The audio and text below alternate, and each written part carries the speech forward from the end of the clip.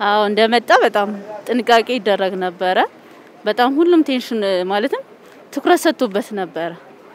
ከዛ በኋላ ደግሞ ትኩረቱ ቀንሷል። ኮሮና ቫይረስ ጋር ተያይዞ መጀመሪያ በኮሮና ቫይረስ ሀገራችንም ከተማችን ላይም ሲከሰት በክልላችንም ሲከሰት ህብረተሰቡ በጣም መደናገጥ ተፈጥሮበት ጥንቃቄ ማድረግ ሁኔታ ነበረ። አሁን ላይ ግን በጣም ሰፊ የሆነ መዘናጋት ህብረተሰቡ ላይ እየታየ ነው። የሚገርም ነገር ነው። እኔ በበኩሌ በማውቀው ከቤት ውስጥ ያልወጣንም ቤተሰቦች በሙላ አለን። ስለዚህ በምንገባበት ሰዓት እንኳን ወጥተን እጃችን ታጥበን እግራችን ታጥበን ተጠንቅቀን ነው የምንገባው።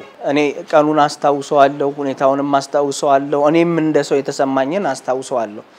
የመጀመሪያ ቀን ሁሉም ሰው በጣም ከፍተኛ ድንጋጤ ውስጥ ነበረ። ይህ በኮሮና ቫይረስ የተያዘ የመጀመሪያው ሰው መኖሩ በተነገረበት ወቅት የነበረ የብዙዎቻችን ስሜት ነው። አሁን ላይ በኢትዮጵያ በኮሮና ቫይረስ የሚያዙ ሰዎች ቁጥር እየጨመረ ቢመጣም ህብረተሰቡ ተገቢውን ጥንቃቄ ሲያደርግ አይስተዋልም። ይህ ከምን የመነጨ ነው ስንል የስነ አእምሮ ባለሙያ የሆኑትን ዶክተር እንግዳ ግርማን ጠየቅን። ያ መሰረታዊ እኛን አንነካም የሚለውን ስሜታችንን ስለመታብን ነው ከፍተኛው ፍርሃት የመጣው። ግን ፍርሃት በተፈጥሮ እየቀነሰ ነው የሚመጣው።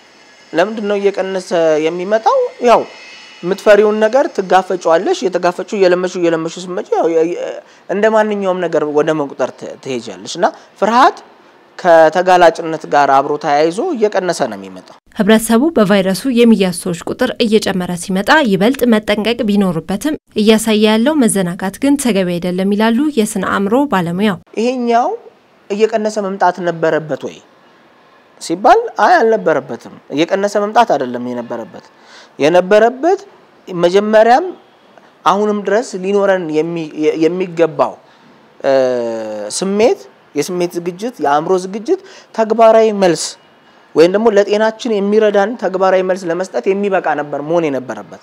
አሁን ግን መጀመሪያ ሰማይ ተተኮሰ፣ ከዛም በኋላ ደግሞ መሬት ወረደ። ጥንቃቄያችን በቁጥር ላይ የተመሰረተ መሆን የለበትም ያሉት ዶክተር እንግዳ ከቁጥር በስተጀርባ ሰው አለ።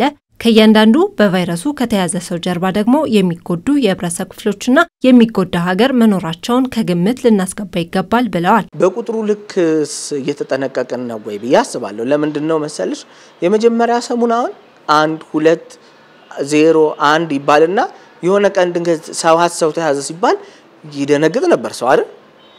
አሁን 399 ሰው ተያዘ ሲባል የገበያ ዋጋ የምትነግሪው ነው እንጂ የሚመስለው የሆነ ሰው ታመመ ምትይም አይደለም የሚመስለው እና ቤዚካሊ ከቁጥሩ ጋር የተወሰነ መናወጥ አለ። ግን ትልልቅ ቁጥሮች እንኳን ስሜት እየሰጡን አይደለም። በአብዛኛው አንድ ሰው ታመመ ማለት በዙሪያው ያሉ ልጆቹ፣ ባለቤቱ፣ ሰውየው፣ አካሉ፣ አእምሮው፣ ስነ ልቦናው፣ እንደ ሀገር ማህበረሰቡ አጠቃላይ ከፍተኛ ጉዳት እንደሚደርስ ማሳየት መቻል ያስፈልጋል። የመገናኛ ብዙኃን መረጃውን ለህብረተሰቡ የሚያስተላልፉበት መንገድ ከቁጥር ጀርባ ያለውን ጉዳት የሚያሳይ መሆን አለበት። ስለዚህ በጣም የበዛ መረጃም አይደለም የሚያስፈልገን፣ በጣም ያነሰ ስታቲስቲክስም አይደለም የሚያስፈልገን።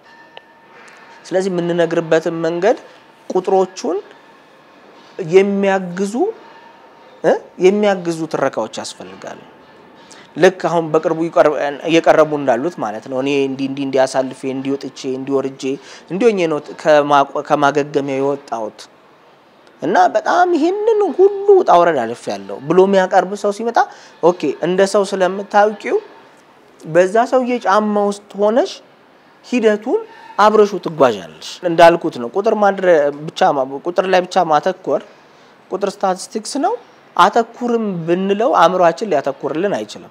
ስለዚህ ከቁጥር ባሻገር ብዙ ሰዎች እንዳሉ ማወቅ በጣም ብዙ ሰዎች እንዳሉ ማወቅ ሰውየው አለ፣ የሰውየው ስሜት አለ፣ የሰውየው አካል አለ፣ የሰውየው ቤተሰቦች አሉ፣ ጎረቤቶቹ አሉ፣ እንደ ማህበረሰብ ማህበረሰቡ አለ።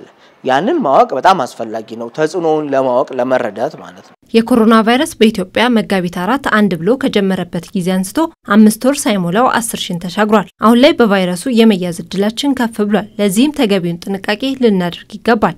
normal እንደ ጉንፋን እያሰበው ነው ህዝቡ ማለት ነው እና ከሌሎች ሀገር አንጻር ደግሞ እኛ ሀገር የሞቱ መጠን ስለቀነሰ ህዝቡ attention አልሰጠውም። አሁን ግን ሞቱም ያው እየጨመረ ነው። የተያዘውም ሰው እንትን እያለ ነው እየጨመረ ነው። ከዚህ በኋላ ግን ሁላችንም ትኩረት እንድንሰጠውና attention እንድንሰጠው እላለሁ። አዋጁ ወጧል። አዋጁን ለማስተግበር በጣም ሰፊ ስራ እየተሰራ ነው። ከትራንስፖርት አጠቃቀም ጋር ተያይዞ እያንዳንዱ ስራ ለመስራት እየተሞከረ ነው። ግን መንግስት በሚሰራው ብቻ ለውጥ ይመጣል ብዬ አላምንም። መጀመሪያ ህብረተሰቡ የባህሪ ለውጥ ማምጣት መቻል አለበት። በኮሮና ቫይረስ የሚያዙ ሰዎች ቁጥር ሲጨምር የምንጠነቀቅ፣ ቁጥሩ ሲቀንስ ደግሞ ልንዘናጋ አይገባም። አሁን ላይ በቫይረሱ የተያዙ ሰዎች ቁጥር በተመረመረው መጠን እንጂ በቫይረሱ የተያዙ ሰዎችን ቁጥር የማያሳይ በመሆኑ አጽንኦት ልንሰጠው ይገባል እንላለን።